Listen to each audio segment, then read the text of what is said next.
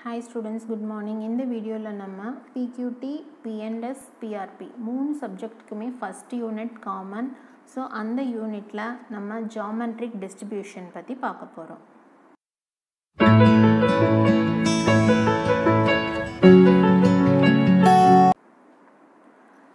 Geometric distribution அப்படின்னா இப்போ வந்து number of trials of capital எக்ஸுங்கிறது number of trials அப்படின்னு எடுத்துக்கிட்டோம் அப்படின்னா அதை இந்த மாதிரி டிஃபைன் பண்ணுவாங்க. எப்படின்னா one minus p the whole power x minus one into p one minus p is nothing but q q power x minus one into p ரொம்பவே simple geometric டிஸ்ட்ரிபியூஷன்னா இதுதான். Q power x minus one into p இதுக்கு வந்து recurrence formula கொடுத்துருக்காங்க. Capital x equal to x அப்படின்னா இந்த formula X plus one அப்படின்னா இந்த இடத்துல எக்ஸ் ப்ளஸ் ஒன்னால் ரீப்ளேஸ் பண்ண இந்த டேர்ம் வரும். ஸோ இந்த ரெண்டு டேர்ம்ஸை டிவைட் பண்ணோம் அப்படின்னா ஒரு க்யூ டேர்ம் மட்டும் ரிமைனிங் ஆன்சராக வரும். இதை இதால் டிவைட் பண்ணும் பொழுது ஆன்சர் வந்து க்யூ வரும். தென் மீனோட value one by B வேரியன்ஸோட value q by p square இது ஒன்று ஒன்றுக்கும் ப்ரூஃப் இருக்குது நான் சிம்பிளாக வேல்யூஸ் மட்டும் கொடுத்துருக்கேன். தெரிஞ்சுக்கோங்க.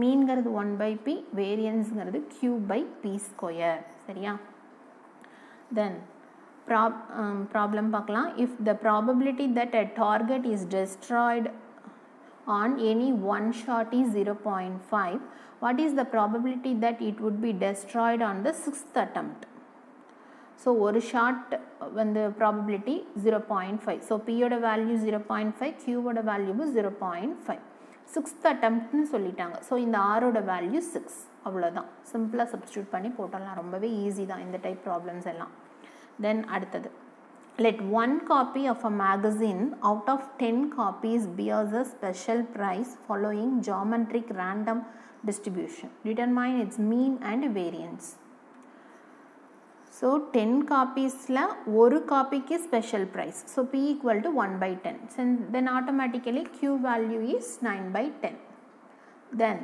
probability of capital x equal to r அப்படிங்கும் பொழுது ஜென்ரலாக இந்த மாதிரி எழுதிக்கிறோம். எழுதிட்டு மீனோட வேல்யூ என்ன? ஒன் பை பி வேரியன்ஸோட வேல்யூ என்ன? Q by p square just அதோட வேல்யூஸ் தான். பிக்யூ இருந்தாலே போதும். ஜாமெட்ரிக் டிஸ்ட்ரிபியூஷன் ஃபாலோ பண்ணதுன்னு அவங்க சொன்னதுனால ஜாமெட்ரிக் டிஸ்ட்ரிபியூஷனோட ப்ராபபிலிட்டி ஃபங்க்ஷன் எழுதியிருக்கிறோம் சரியா இதை யூஸ் பண்ணவெல்லாம் தேவையில்லை ஜஸ்ட் அவங்க டிஸ்ட்ரிபியூஷன் சொன்னதுனால நம்ம அந்த டேர்ம் எழுதியிருக்கோம் தென் அடுத்தது suppose that a trainee soldier shoots a target in an independent fashion. If the probability that the target is shot on any one shot is 0.8. So பியோட value zero point eight இப்போ நம்ம என்ன find out பண்ணணும்? What is the probability that the target would be hit on the sixth attempt so first மட்டும் பார்க்கலாம். B வந்து zero point எயிட்னா Q வந்து ஜீரோ பாயிண்ட் டூ இது ஜென்ரலாக எழுதுறட்டும் தென் எக்ஸாக்டாக சிக்ஸ்த் அட்டம்ப்ட்னா எக்ஸ் ஈக்குவல் டு சிக்ஸ் அவ்வளோதான் சிக்ஸ் மைனஸ் ஒன் இங்கே ஃபைவ் வரும். மற்றபடி சிம்பிளிஃபை பண்ணி எழுதிக்கலாம். அடுத்தது. What is the probability that it takes him less than five shots less than five shots அப்படிங்கும் பொழுது x less than five less than ஃபைவ்னா ஜீரோலேருந்து ஆரம்பிக்கக்கூடாது. நான் ஃபஸ்ட்டு ஜீரோ எழுதிட்டேன். ஏன் ஜீரோலேருந்து ஆரம்பிக்கக்கூடாது அப்படின்னா கண்டிப்பாக அவங்க ஷூட் பண்ணுறாங்க ஷூட் பண்ணாமல் இருந்தால் தான் x equal to zero so shoot பண்ணுறாங்க அதனால் ஒன் டூ த்ரீ ஃபோர் இப்படி தான் எடுத்துக்கணும். ஸோ இதை சிம்பிளிஃபை பண்ணி எழுதியிருக்காங்க. தென் அடுத்தது it takes him even number of shots even number of shots அப்படிங்கும் பொழுது டூ ஃபோர் சிக்ஸ் எக்ஸெட்ரா இப்படி தான் வரும். சரியா? டூ ஃபோர் சிக்ஸ் எக்ஸெட்ரான்னு வரும். இதை வந்து ஒன் மைனஸ் அப்படின்னு கொண்டுட்டு போய் எழுத முடியாது. அதனால் இதுக்கு என்னென்ன டேர்ம்ஸ் வருமோ அதை அப்படியே எழுதிக்கலாம். எக்ஸ் ஈக்குவல் டு டூங்கும்போது இது வரும். எக்ஸ் ஈக்குவல் டு ஃபோர் அப்படிங்கும்போது இங்கே பவரில் ஃபோர் மைனஸ் ஒன் த்ரீ வரும். இங்கே சிக்ஸ் மைனஸ் ஒன் ஃபைவ் வரும். இந்த மாதிரி வரும். தென் ஜீரோ பாயிண்ட் டூவையும் ஜீரோ பாயிண்ட் எயிட்டையும் காமனாக எடுத்தால் இந்த மாதிரி எழுதிக்கலாம். Then one plus x plus x square இந்த ஃபார்மேட்டுக்கு கொண்டு வரணும்னா இதை வந்து உள்ளே ஸ்கொயர் பண்ணிக்கோங்க. So zero point zero four வரும். இங்கே zero four the whole square வரும். So one plus x plus x square இந்த ஃபார்மேட் வந்துருச்சுன்னா one minus x power minus one அந்த ஃபார்முலா ஸோ அந்த ஃபார்முலாவில் ஜஸ்ட் இதை சிம்பிளிஃபை பண்ணி ஆன்சர் எழுதியிருக்கோம். ஆன்சர் பார்த்தீங்கன்னா zero point one double six seven அவ்வளோதான் தென் அடுத்தது இந்த மெமரிலெஸ் ப்ராப்பர்ட்டிங்கிறது ரொம்பவே இம்பார்ட்டண்ட்டான ப்ராப்பர்ட்டி இது ரிப்பீட்டடாக யூனிவர்சிட்டியில் கேட்டுட்ருக்காங்க சரியா? So memoryless property of geometric distribution so first இந்த ப்ராப்பர்ட்டியோட ஸ்டேட்மெண்ட் இது if, if capital X has a geometric distribution then for any two positive integers m and n probability of x greater than m plus n given x greater than m அப்படின்னா x greater than n அப்படிங்கிறது ஆன்சராக வரும் சரியா M plus என்னை எம்மால் divide பண்ணுனா remaining அதாவது ரெண்டு cancel ஆகி என் வர மாதிரி சரியா இப்போ இதில் எல்ஹெச்எஸ் மட்டும் கன்சிடர் பண்ணிக்கலாம் probability of A given B formula ஞாபகம் இருக்கா probability of A given B equal to probability of A intersection B by probability of B so இதை கொண்டு வந்து சப் அப்ளை பண்ணுறோம் probability of A intersection B by probability of B then இது ரெண்டுக்கும் இடையில intersection இப்போ எம் ப்ளஸ் என் அப்படின்னா இப்போ இது எம் சப்போஸ் ஒரு புரிஞ்சுக்கணுங்கிறக்காக சொல்கிறேன் m equal to one n equal to டூன்னு வச்சுக்கலாம்.